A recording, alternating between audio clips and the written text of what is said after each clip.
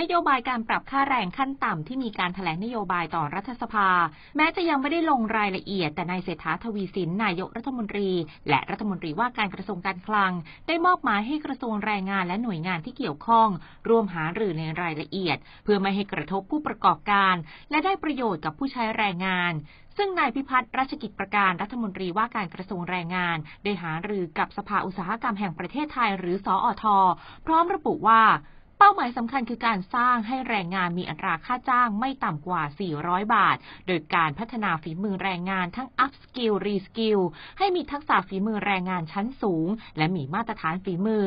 ซึ่งจะได้รับการจ้างงานที่มีค่าจ้างสูงกว่าค่าจ้างขั้นต่ำ ตามกลไกการจ่ายค่าจ้าง ตามความรู้ความสามารถในการปฏิบัติงาน รวมถึงแนวคิดให้มีการจ้างงานรายชั่วโมง โดยขณะนี้ยังไม่สามารถประกาศขึ้นค่าแรงขั้นต่ำได้ทันที แต่จะเร่งหาหรือสามฝ่าย ทั้งลูกจ้าง นายจ้าง และภาครัฐ เพื่อหาข้อสรุปอีกครั้งภายในเดือนพฤศจิกายนนี้ โดยคำนึงถึงค่าเงินเฟ้อด้วย หากได้ข้อสรุปแล้ว กระทรวงแรงงานจะประกาศมอบเป็นนโยบายของขวัญปีใหม่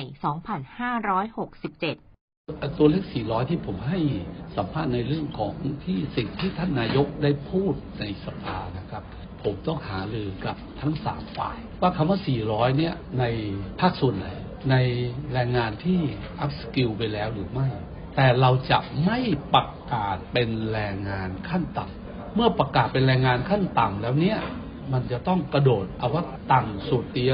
350 บาท ขึ้นไป 50 บาท ซึ่งจะต้องขึ้นไปถึง 10 กว่าเปอร์เซ็นต์ ผมก็เชื่อว่านะครับ ทางฝ่ายผู้จ้างหรือนายจ้างคงรับภาระตรงนั้นไม่ไหว และที่สำคัญที่สุด SME จะต้องหายไปจากประเทศไทยก่อนเพราะฉะนั้นเราต้องลงในรายละเอียดว่าคำว่า 400 เราจะได้ในภาคส่วนไหนบ้าง ด้านนายเกรียงไกรเทียนนุกุล ประธานสออทเสนอให้การปรับค่าแรงควรเน้นอุตสาหกรรมที่ต้องการเพิ่มทักษะฝีมือแรงงานให้มีประสิทธิภาพ หรือเพิ่มทักษะใหม่เพื่อรองรับอุตสาหกรรมแห่งอนาคต และเห็นพ้องว่าการปรับค่าแรง จะต้องพิจารณาจากอัตราเงินเฟ้อด้วย ซึ่งปัจจุบันค่าแรงสำหรับแรงงานที่พัฒนาทักษะแล้วอยู่ที่ 600ถึง800 บาทต่อวัน ภาคเอกชนเห็นด้วย ท่านรัฐมนตรีก็บอกว่ายังจะต้องหาลือ